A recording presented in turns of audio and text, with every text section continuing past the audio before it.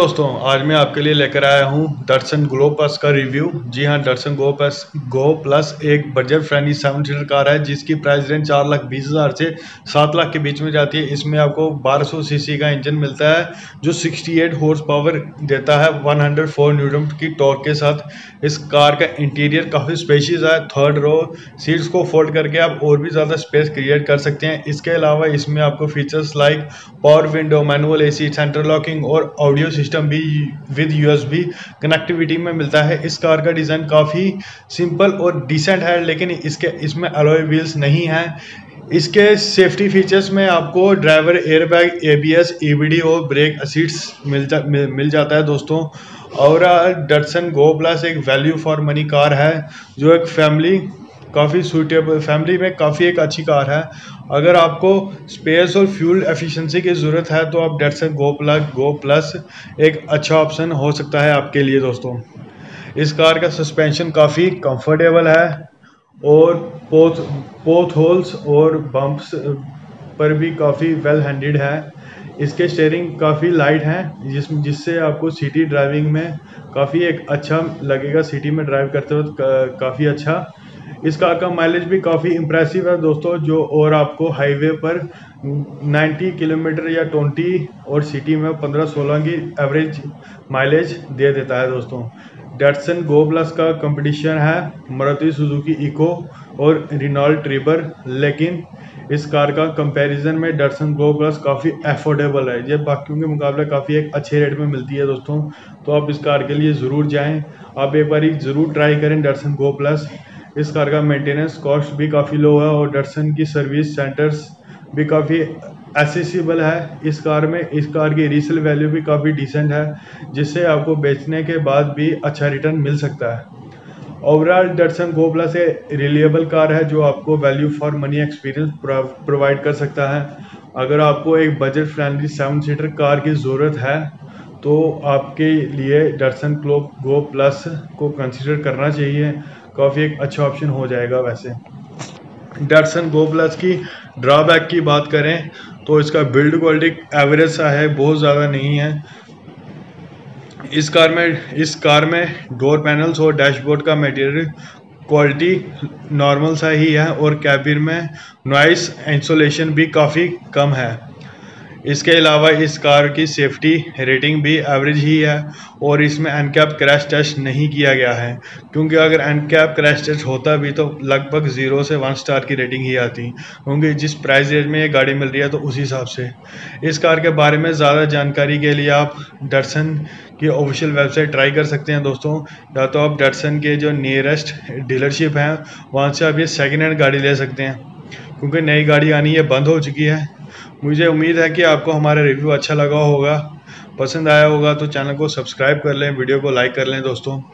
तो दोस्तों, ये एक डेटसन गो प्लस आपको न्यू तो मिलेगी नहीं, वैसे सेकेंड हैंड रेट पे ही मिलेगी। तो आप ये ओ से या जो आपके आसपास के डीलर्स वगैरह हैं, जैसे तो वहाँ पर जाके आप ये गाड़ी ले सकते हैं ट्राई कर सकते हैं। ओवरऑल मुझे तो ये गाड़ी ठीक ही लगी, बहुत ज़्यादा पसंद भी नहीं आया, लेकिन रेट के हिसाब से दोस्तों देखा जाए तो ये आपको दो तीन लाख में, दो ढाई लाख में आराम से मिल जाएगी, क्योंकि अभी ये दर्शन गो प्लस बंद हो चुकी है, लेकिन प्राइस में आपको सेकेंड हैंड मार्केट में आपको आसानी से मिल जाएगी। तो वीडियो पसंद आई हो तो लाइक कीजिए चैनल को सब्सक्राइब कर लीजिए, और इसी तरह की वीडियो देखने के लिए और इसी तरह की जानकारी लेने के लिए।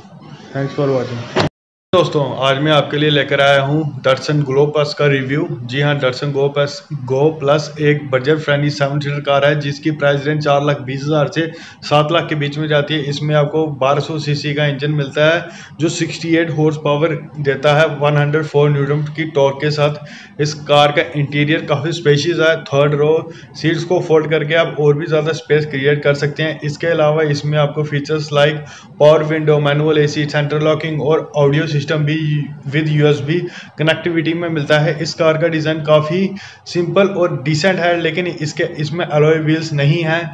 इसके सेफ्टी फीचर्स में आपको ड्राइवर एयरबैग एबीएस ईवीडी और ब्रेक असीट्स मिल जा, मिल जाता है दोस्तों।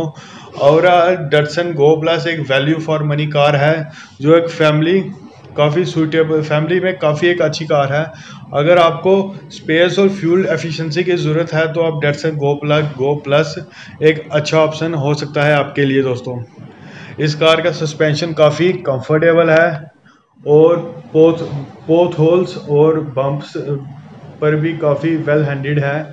इसके स्टेयरिंग काफ़ी लाइट हैं, जिस, जिससे आपको सिटी ड्राइविंग में काफ़ी एक अच्छा लगेगा। सिटी में ड्राइव करते वक्त काफ़ी अच्छा इस कार का माइलेज भी काफ़ी इम्प्रेसिव है दोस्तों, जो और आपको हाईवे पर 90 किलोमीटर या 20 और सिटी में 15-16 की एवरेज माइलेज दे देता है दोस्तों। डेटसन गो प्लस का कंपटीशन है मारुति सुजुकी इको और रिनॉल्ड ट्रिबर लेकिन इस कार का कंपैरिजन में डटसन गो प्लस काफ़ी एफोर्डेबल है। ये बाकियों के मुकाबले काफ़ी एक अच्छे रेट में मिलती है दोस्तों। तो आप इस कार के लिए ज़रूर जाएँ। आप एक बार ज़रूर ट्राई करें डटसन गो प्लस इस कार का मेंटेनेंस कॉस्ट भी काफ़ी लो है और डटसन की सर्विस सेंटर्स भी काफ़ी एसेसिबल है। इस कार में, इस कार की रीसेल वैल्यू भी काफ़ी डिसेंट है, जिससे आपको बेचने के बाद भी अच्छा रिटर्न मिल सकता है। ओवरऑल डटसन गो प्लस एक रिलेबल कार है, जो आपको value for money experience provide कर सकता है। अगर आपको एक budget friendly seven seater car की ज़रूरत है तो आपके लिए डटसन क्लोब गो प्लस को कंसिडर करना चाहिए। काफ़ी एक अच्छा ऑप्शन हो जाएगा वैसे। डटसन गो प्लस की ड्रॉबैक की बात करें तो इसका बिल्ड क्वालिटी एवरेज सा है, बहुत ज़्यादा नहीं है। इस कार में, इस कार में डोर पैनल्स और डैशबोर्ड का मटेरियल क्वालिटी नॉर्मल सा ही है और कैबिन में नॉइस इंसोलेशन भी काफ़ी कम है। इसके अलावा इस कार की सेफ्टी रेटिंग भी एवरेज ही है और इसमें एनकैप क्रैश टेस्ट नहीं किया गया है। क्योंकि अगर एनकैप क्रैश टेस्ट होता भी तो लगभग ज़ीरो से वन स्टार की रेटिंग ही आती। क्योंकि जिस प्राइस रेंज में ये गाड़ी मिल रही है तो उसी हिसाब से। इस कार के बारे में ज़्यादा जानकारी के लिए आप डरसन की ऑफिशियल वेबसाइट ट्राई कर सकते हैं दोस्तों। या तो आप डटसन के जो नियरेस्ट डीलरशिप हैं, वहाँ से आप ये सेकेंड हैंड गाड़ी ले सकते हैं। क्योंकि नई गाड़ी आनी है बंद हो चुकी है। मुझे उम्मीद है कि आपको हमारा रिव्यू अच्छा लगा होगा। पसंद आया होगा तो चैनल को सब्सक्राइब कर लें वीडियो को लाइक कर लें दोस्तों।